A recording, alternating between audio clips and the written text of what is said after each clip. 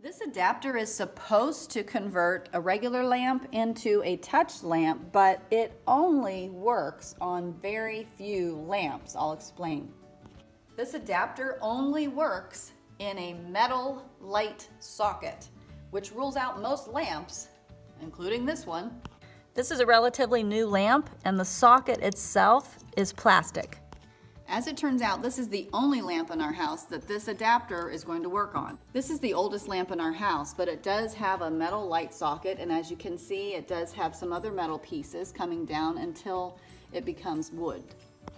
This means we'll be able to have the touch feature work not just when we touch the light socket, but also on these other metal parts. Once you have the right kind of lamp to use this device, you also need to know what kind of light bulb can and cannot work with this device. One of the most common light bulbs today is a non-dimmable LED light bulb, and if you're using this kind of light bulb with this device, it will not work. Incandescent bulbs will work. They're not as common these days, but you can still find them. If you're using an incandescent bulb, a three-way bulb will work, or so will a regular bulb. This adapter converts any incandescent bulb into a three-way bulb. Even though the package says use incandescent bulbs only, we have found another bulb that works too.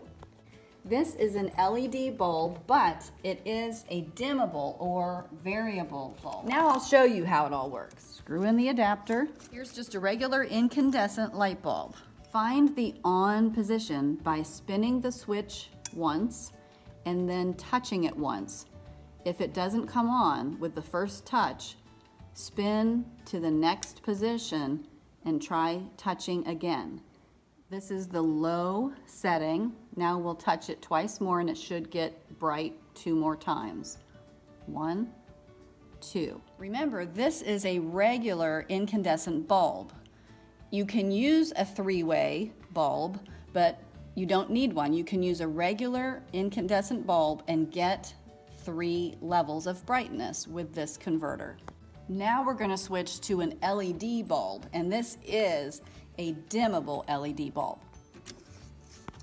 This is a 17 watt dimmable LED bulb, and it is bright. Most people don't know this, but statistics are clear. 100 watt incandescent light bulbs are dangerous, and that is why they're getting phased out. Using a bulb with higher wattage than this is a very common cause of house fires. I'll explain. Everybody laughs, but the manufacturers put that warning on there for a reason. And it has to do with this right here. This wire is only rated for 60 watts, just like the label says.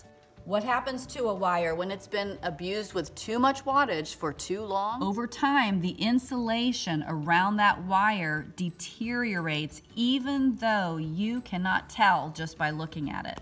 Just because you can't see a crack in the insulation of the cord doesn't mean there's not deterioration that has happened because of the abuse of wattage going through it. Most electricians have a tool to test the integrity of the insulation on cords, and it's called a megohmmeter.